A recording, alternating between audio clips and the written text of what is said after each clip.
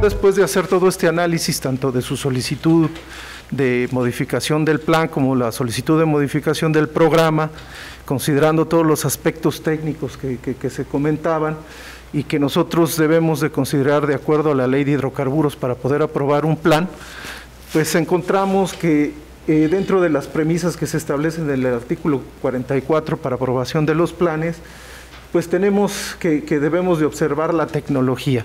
La tecnología, pues dentro de lo que alcanzamos nosotros a ver y las mejores prácticas, pues es la adecuada. Sin embargo, ya en el plan de producción que permita maximizar el factor de recuperación es donde empezamos a tener problemas, porque vemos que sus pronósticos de producción pues no están considerando eh, el comportamiento actual del yacimiento, y que les serviría a ellos considerar cómo ya tienen dos años de producción, cómo se está comportando y cómo realmente sería la proyección de los volúmenes a producir hacia el futuro. Eh, también tenemos ahí una situación en cuanto a las condiciones económicamente viables, por la situación que les comentaba de los costos que se estuvieron analizando de cada una de las actividades y pues vemos que algunos de los costos están excedidos también eh, revisamos lo que se refiere al programa de aprovechamiento de gas natural.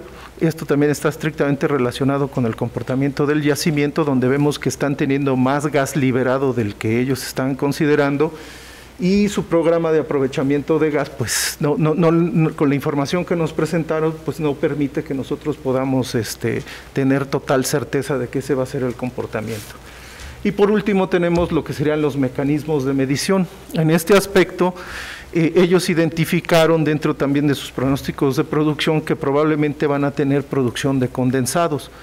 Se les solicitó que documentaran ellos pues, el mecanismo de medición que permitiera cuantificar de forma adecuada estos este, eh, condensados. Sin embargo, la información que nos presentaron pues no fue del todo clara y no nos permite aquí en la comisión que podamos este, nosotros dictaminar con toda certeza que es favorable. Los problemas que están diciendo del gas y de la presión del yacimiento y demás, ¿no tiene que ver por la falta de la llegada del barco? Y, mi pregunta es si, si llegando el barco eso se va a solucionar. La inyección que se tenía pronosticada para mantenimiento de presión con el barco era sobre todo porque el yacimiento, la expansión que tiene propiamente el yacimiento es pobre en la parte de los fluidos y la roca. Entonces se abate muy rápido la presión. Lo que se estaba buscando en la idea original, en el plan que se tiene hoy vigente, era dar mantenimiento de presión para que no se batiera y entonces se genera este plato de presión y un plato de producción. Al no tener el ingreso del barco para el mantenimiento de presión, se abate el yacimiento y se está batiendo también la producción que se tiene en el campo entonces es una consecuencia de otra. Ahora, si se va a revertir, se va a revertir la caída, sí, pero no al grado que teníamos, porque ya también ahí se tiene una pérdida de oportunidad respecto del yacimiento.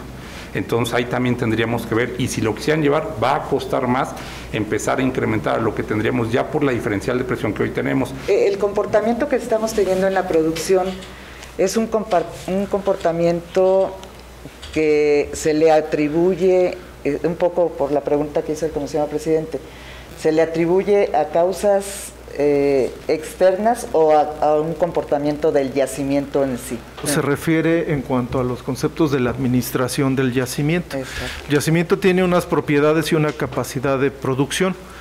Sin embargo, cuando nosotros iniciamos o cuando un operador eh, inicia su extracción con la información que tiene, hace un estimado de cómo va a ser su, comportamiento y en base a esto pronostica eh, la producción. Sin embargo, cuando nosotros aceleramos la producción más allá de lo que nosotros habíamos estimado que tiene capacidad productora el yacimiento, podemos empezar a causar descompensaciones en el comportamiento de los fluidos, cómo están dentro del yacimiento y cómo fluyen. Ellos tendrían que cambiar su programa anual 2021, pero además el plan total, el plan total de extracción. Entonces estamos como que como que en un drama muy raro, porque nos están queriendo decir va a seguir todo muy bien cuando sabemos que no, y cuando sus propios datos nos dicen que no. Entonces mi pregunta es, ¿qué, puede pasar aquí? O sea, lo, se lo rechazamos, perfecto. Nos van a venir con un nuevo plan y van a tener que seguir mientras tanto con el plan vigente. Seguiría el vigente, me imagino, y, y la modificación que quieren hacer pues tiene que ser congruente en todos estos aspectos que estamos hablando. Si ellos ya están viendo que la producción no es no es lo que lo que se está programando y que saben que el barco no ha llegado y sigue sin llegar y tú no tienen la fecha, este, al parecer exacta, pues no, no tiene mucho sentido modificar el plan.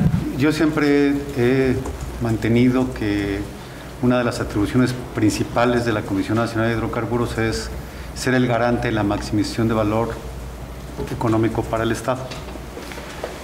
Y una de las herramientas más potentes que tenemos, o la más potente que tenemos, es la validación de los planes de desarrollo.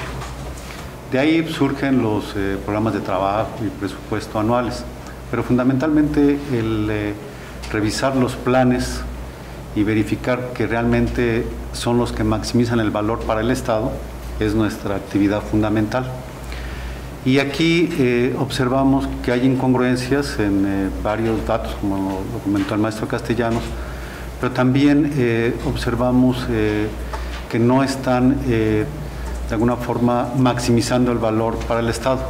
Se registra la votación y el acuerdo queda aprobado. El objetivo del proyecto es reprocesar e interpretar muestras de canal, principalmente recortes de perforación de 25 pozos. Podemos ver la ubicación en el mapa del lado derecho que son los puntos negros son la ubicación de los pozos y que están eh, enmarcados dentro de un polígono envolvente que está eh, eh, remarcado en color verde. Los objetivos geológicos están asociados a 14 unidades estratigráficas de tres eras geológicas, que son el Cenozoico, el Cretácico y el Jurásico. Está muy impresionante el área que van a desarrollar no más por el tamaño, sino porque hay un montón de asignaciones y de áreas contractuales. Entonces en toda esa área de repente se va a generar mucha información nueva. Entonces mi pregunta era si tenemos algún mecanismo para avisarle a esas empresas que hay otra empresa que está haciendo este tipo de estudios de las cuales pudieran llegar a beneficiarse. No nos toca a nosotros hacerle difusión a nadie, sencillamente es una información que finalmente va a terminar en el centro. Es un proyecto regional, eh, integra 25 pozos que serían eh, hasta la fecha suficientes, tal vez eh, se requerían más, pero sí hay muchos contratistas que pudieran estar interesados en este dato. Ya dependerá también de cada quien que tenga el acceso. obviamente nosotros tendremos que conservar la confidencialidad que se ah. tiene por parte del desarrollo de la compañía. Se registra la votación y el acuerdo queda aprobado. Daría inicio, eh, de acuerdo al programa calendarizado, el 9 de febrero eh, para las actividades de perforación y se irían directamente al abandono, el cual eh, iniciaría el 7 de marzo y terminaría el 15 de marzo, tentativamente. Los costos que se tienen estimados para esta perforación son de 5.8 millones de dólares en el caso de la perforación y para el abandono sería de 0.4 millones de dólares. Esto nos da un total de 6.2. Se registra la votación y el acuerdo queda aprobado.